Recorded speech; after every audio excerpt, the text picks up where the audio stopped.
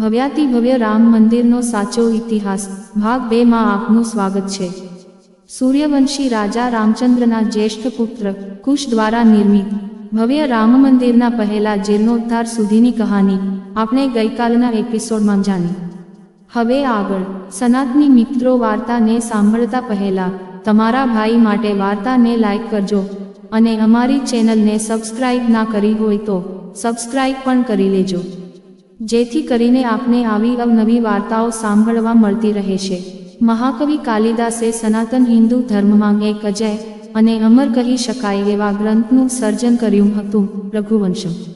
જેમાં તેમણે રઘુકુળ વિશેનું વિસ્તૃત અને અત્યંત રસપ્રદ વર્ણન કર્યું છે. કાલિદાસજીના આ ગ્રંથમાં પણ આપણને અયોધ્યામાં શ્રીરામ મંદિર હોવાનો ઉલ્લેખ મળે છે. તો અહીંથી આગળ વધતા ઈસાપૂર્વ એકસો વર્ષ, જ્યારે સૂર્યવંશી મહાપ્રતાપી એવા રામચંદ્રજીનો રાજવંશ અયોધ્યાનું પ્રભુત્વ ગુમાવી ચૂક્યો હતો. તે સમયમાં એવો ઉલ્લેખ મળે છે કે શ્રીરામ મંદિર ખૂબ જર્જરિત અવસ્થામાં આવી પડ્યું હતું. પરંતુ તે જ સમય દરમિયાન ઉજ્જૈનના રાજવી વિક્રમાદિત્યનું અયોધ્યા પહોંચવાનું થાય છે. વિક્રમાદિત્ય પોતાની સેના સહિત પ્રવાસમાં હોય તેમણે વિશ્રામના આશયથી અયોધ્યામાં થોડો આરામ કરવા વિચાર્યું. ક્યારેક અત્યંત ભવ્યતા ભોગવી ચૂકેલા તે મંદિરની નજીક વિક્રમાદિત્ય પોતાની સેના સાથે આરામ કરી રહ્યા હતા. ત્યારે તેમને મંદિરની આસપાસના વાતાવરણમાં અત્યંત દિવ્યતાનો અનુભવ થયો. મંદિરની આસપાસના વિસ્તારમાં આવી દિવ્યતાનો અનુભવ શા કારણથી? રાજવીને જિજ્ઞાસા જાગી કે આ જગ્યામાં એવું તે શું છે કે જેને કારણે આ ભૂમિ અને તેની આસપાસનું વાતાવરણ આટલું નિર્મળ અને દિવ્ય જણાય છે. તેમને આસપાસના બ્રાહ્મણો પાસે તે સ્થાન વિશે જાણવાનો પ્રયત્ન કર્યો. ત્યારે એમને ખબર પડી કે તેમણે જ્યાં આશ્રય લીધો છે એ સ્થાન કોઈ ઓર નહીં પણ સ્વયં ભગવાન શ્રીરામના મંદિરનું પ્રાંગણ છે. અને ક્યારેક ભવ્ય મંદિર હતું જે આજે જર્જરિત અવસ્થામાં પહોંચી ચૂક્યું છે. પ્રભુ શ્રીરામમાં અત્યંત ઘનિષ્ઠ આસ્થા ધરાવતા રાજવી વિક્રમાદિત્યએ ત્યારકથી તે મંદિરનો ફરીવાર જીર્ણોદ્ધાર કરાવ્યો. આ રીતે કુશ નિર્મિત તે મંદિરનો બીજી વાર જીર્ણોદ્ધાર થયો. આ આખી ઘટનાનું વર્ણન અને ઉલ્લેખ વિક્રમાદિત્યના સમયમાં મળી આવેલા શિલાલેખોમાં છે. કોઈને આ બાબતે શંકા હોય તો ભારતના આર્કિયોલોજીકલ ડિપાર્ટમેન્ટની આર્કાઇવમાં ચકાસી શકે છે. રાજવી વિક્રમાદિત્યએ જીર્ણોદ્ધાર દ્વારા ફરી એકવાર કાળા પથ્થરોથી એક ભવ્ય મંદિરની સ્થાપના કરી. જે ચોર્યાસી વિશાળ સ્તંભો પર ઊભું કરવામાં આવ્યું. એ કહેવાની જરૂર નથી કે ત્રેતાયુગમાં સ્થપાયેલા એ મંદિરને બે યુગ જેટલો સમય વીતી ચૂક્યો હતો. અર્થાત, ત્રેતાયુગ બાદ દ્વાપર યુગ પૂર્ણ થઈ ચૂક્યો હતો અને કળિયુગની સ્થાપના થઈ ચૂકી હતી. આ યાદ કરાવવાનું કારણ એટલું જ કે શ્રી રામના મંદિરને આ સમય સુધીમાં કેટલા વર્ષો થયા હશે. તેનો અંદાજ તમે લગાવી શકો છો મીટર સદીમાં બૌદ્ધ ધર્મનો અનુયાયી એવો એક ચીની યાત્રી હેનથેસાંગ ભારત આવે છે. પોતે જે ધર્મને અનુસરે છે, તેના ગુરુના જન્મસ્થાન અને જ્ઞાન પ્રાપ્તિ સ્થાનની મુલાકાત દરમિયાન, તેણે જોયેલી બાબતો વિશે પોતાના પ્રવાસ વર્ણનમાં તે લખે છે, અયોધ્યા આસપાસ લગભગ વીસ જેટલા બૌદ્ધ મંદિરો છે, જેમાં ત્રણ હજાર કરતાં પણ વધુ બૌદ્ધ ભિક્ષુકો રહે છે. તેમના પ્રવાસ વર્ણનના લેખમાં જ તેઓ આગળ લખે છે. અહીં એક વિશાળ અને ભવ્ય મંદિર છે, જ્યાં હજારોની સંખ્યામાં હિન્દુ ભક્તો દર્શન માટે આવે છે. હેનત્યસાંગ દ્વારા વર્ણિત તે મંદિર બીજું કોઈ નહીં પરંતુ અયોધ્યા સ્થિત વિક્રમાદિત્ય દ્વારા જીર્ણોદ્ધાર કરાયેલું રામ મંદિર જ હતું. બારમી શતાબ્દી, ભારતના એક મહાદ્રોહી જયચંદને પાપે, મહોમ્મદ ઘોરીએ ભવ્ય ભારત વર્ષ પર આક્રમણ કર્યું. અને તે સમયે મહોમ ઘોરીનો ચમચો એવો જયચંદ કન્નોજથી અયોધ્યા આવ્યો. તેને આ મંદિર પર લગાડેલા પ્રશસ્તિપત્ર અને શિલાલેખો પરથી વિક્રમાદિત્યનું નામ હટાવી, પોતાના નામની તકતીઓ અને પ્રશસ્તિપત્રો લગાવડાવી દીધા. મંદિરના સ્થાપત્ય અને મંદિર સાથે સંકળાયેલા ઇતિહાસમાં, આ રીતે પહેલીવાર છેડખાની અહીંથી શરૂ થઈ.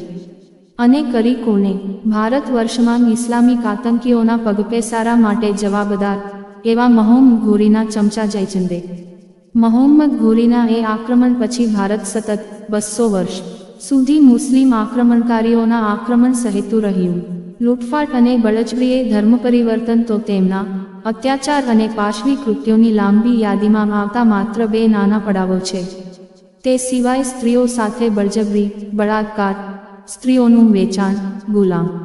બનાવી બાળકોને અનાથ કરવા તેમની સાથે સૃષ્ટિ વિરુદ્ધનું કાર્ય આચરવું, પુરુષોને હિંચડા બનાવી દેવા, તેમના જનાનખાનામાં સેવક તરીકે રાખવાથી લઈને તે ઇસ્લામિક શાસકો કે જે મૂળ તો લૂંટારુઓ અને અત્યાચારી હતા. તેમના મળમૂત્ર સાફ કરવા સુધીના જુલ્મો ભારતની પ્રજા પર આચરવા જેવા અનેક ઘૃણાસ્પદ જુલ્મો એક સનાતન ધર્મી રાષ્ટ્રએ સહન કરવા પડ્યા. આટલા જુલ્મો અને અત્યાચાર છતાં ચૌદમી સદી સુધી મહારાજા વિક્રમાદિત્ય દ્વારા જીર્ણોદ્ધાર કરાવવામાં આવેલું. તે મંદિર જેમનું તેમ તેના ભવ્ય ઇતિહાસ સાથે ઊભું હતું. ચૌદમી શતાબ્દીમાં ઇબ્રાહિમ લોધીના શાસનકાળ સુધી આ મંદિર અયોધ્યામાં સ્થાપિત હોવાના અનેક પ્રમાણો મળે છે. ત્યારબાદ આવી પંદરસો છવ્વીસનું એ વર્ષ જ્યારે પાણીપતનું યુદ્ધ લડાયું. ઇબ્રાહિમ લોધીનું મૃત્યુ થયું અને બર્બરો સોરી બાબર દ્વારા મુગલ સામ્રાજ્યનો પાયો નાખવામાં આવ્યો. આપણે ભણતા હતા ત્યારે જે અકબરનો ઇતિહાસ આપણને મહાન અકબર તરીકે ભણાવવામાં આવ્યો હતો, તે જ હિપોક્રેટ અકબરનો પૂર્વજ એવા બાબરનો શાસનકાળ આવ્યો. અને શરૂ થયું અત્યાચારનો એ દૌર, જે અત્યાર સુધીના જુલ્મો અને અત્યાચારથી સાવ અલગ હતો. એક એવો દૌર જે અત્યંત ઘૃણાસ્પદ નિમ્ન કક્ષાનો અને પાશવી હતો. અત્યાર સુધીના બાહરી આક્રમણકારો, હિન્દુ રાજવીઓ, ઘરો અને સાથે અત્યંત પવિત્ર અને આસ્થાનું સ્થાન એવા મંદિરોને લૂંટતા હતા. અને એ બધી લૂંટેલી મિલકત પોતાના મુલ્કમાં લઈ જતા હતા. પરંતુ, બાબરના શાસનકાળની શરૂઆતના સમયની આસપાસ હવે શરૂ થયો તોડફોડ. આતંક અને જોર જબરદસ્તીનો એક એવો દૌર કે જેને કારણે આ દેશની પ્રજા વર્ષો સુધી ભયભીત રહેવાની હતી. દબાયેલી, કચડાયેલી માનસિકતાનો શિકાર થઈ જવાની હતી. સંસ્કૃતિનું નખો કાઢી નાખવાની આ પૂર્વ તૈયારી રૂપે ભારતના અનેક મંદિરો તોડી નાખવાનો પાશવી દૌર શરૂ થયો.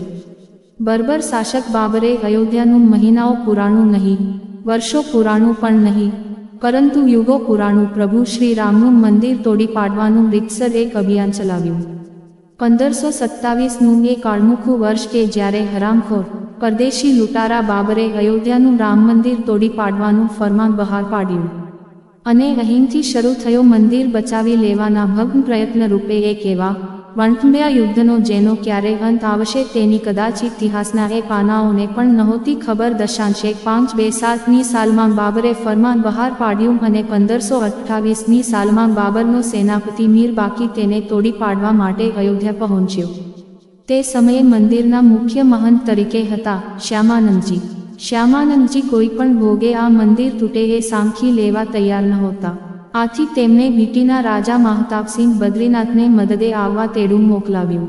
તે સમયે બુલેટ ટ્રેન કે સોનિક સ્પીડ કાર્સ કે બાઇક્સ તો હજી હતા નહીં. આથી મહારાજ બદ્રીનાથને મદદ માટે આવતા સમય લાગવાનો છે, તે અયોધ્યાવાસીઓને ખબર હતી.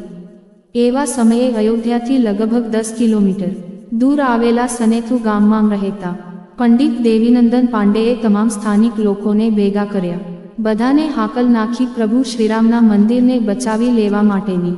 બધાય સ્થાનિક લોકો એકત્ર થયા અને તેમણે મીર બાકીની સેના સામે બાત ભીડવાની બહાદુરી કરી લેવાનું નક્કી કર્યું. બર્બર મુગલીઓ બાબર અને તેના સેનાપતિની વિશાળ સેના સામે, બિચારા સ્થાનિક બ્રાહ્મણો અને બીજા સામાન્ય લોકો ક્યાં સુધી અને કેટલું લડી શકે? તે યુદ્ધમાં સામેલ એકે એક સ્થાનિક વીર સ્ત્રી પુરુષો મૃત્યુને ભેટ્યા વીરગતિ પ્રાપ્ત કરી.